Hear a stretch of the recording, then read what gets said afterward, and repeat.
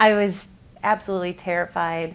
Especially, I was scared of my younger son growing up thinking that his birth caused his mother's death. I was coming out of the most stressful year of my life ever.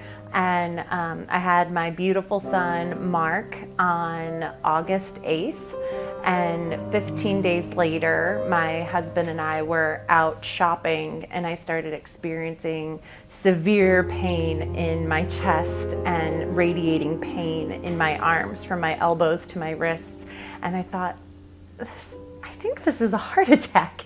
And so while he was at the checkout, I started Googling symptoms because I thought, well, women's heart attacks are supposed to be different. Like, I, I, thought women were supposed to feel nauseous. And in the movies, they always show arm pain as grabbing the upper arm. And that's not where my pain was. But as I Googled the symptoms and read some articles, I thought, no, this, I'm having a heart attack. And so I, I touched my husband on the shoulder and said, I think I'm having a heart attack.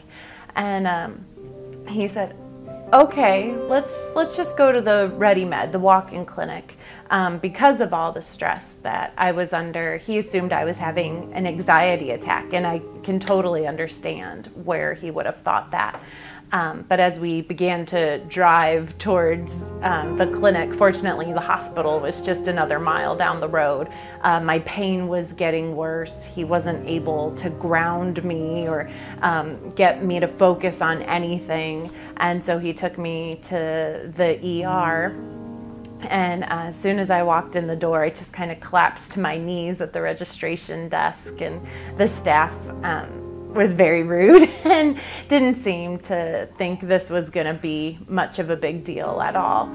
Uh, but as soon as they hooked me up to an EKG, people came running from all over. And within 11 minutes of walking in the door, I was in the cath lab um, having stents put in. At first, they began to treat it like a regular heart attack. Um, just from looking at the EKG, they knew something was very wrong. And one cardiologist came in and said, Mrs. Fisher, you are having a heart attack. And uh, once they started the catheterization, they were able to see the tear but each time they put a stent in and gave a shot of nitro, it ripped more, and uh, it ended. I ended up needing five stents altogether. The cardiologist that did my actual stent procedure, he said, "I've only ever seen this in one other patient in my whole career." Um, so that made me a little nervous. And uh, as different medical professionals that I've talked to that are just friends, you know, they one friend in particular said, I've never seen anyone survive that. Uh, when they were talking about post care, what was coming next, he wanted to prescribe me on a statin for high cholesterol. Um, when I talked to my OBGYN, she said, You don't have high cholesterol because of poor diet or exercise. You have elevated cholesterol because you were pregnant, and that's a normal thing in pregnancy. And when I tried explaining that to the cardiologist, he, he didn't seem to be buying it. Uh, my husband actually showed the cardiologist an article that showed where statins can cause a lot of damage in SCAD patients. And the cardiologist actually pulled it said, Oh, can you text me that article? And um, gave my husband his cell phone number. And so my husband sent it. And he said, Oh, excuse me, just a second. And he walked out the door and we heard him talking to someone. And he came in and said, okay, so we're not going to put you on the statin. Like, oh, geez. You know, and I understand doctors can only treat what they see. You know, even a cardiologist can't be a specialist in everything that could possibly go wrong with a heart. You know, this is obviously something that's not seen very often. Um, so we didn't necessarily blame him for, for going down the wrong path, but we definitely are thankful that we did our own homework and, um, and that he listened to us and followed up.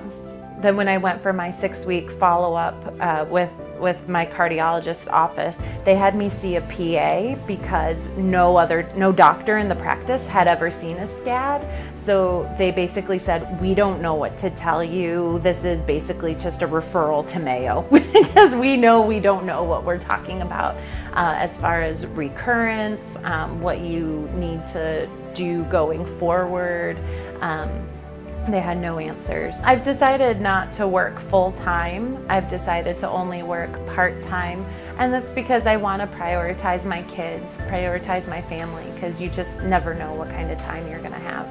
I got that glimpse of not having life with them, and so I want to make sure that my two boys and my husband are the priority. I'm one of the, the lucky ones that I didn't have a lot of damage. I'm really, for the most part, able to function normally. I'm tired, but that might be from having a 10 month old at home. Um, so, no, I'm, I'm very fortunate and very blessed that I recovered as well as I did. That's, that's the most important part to me.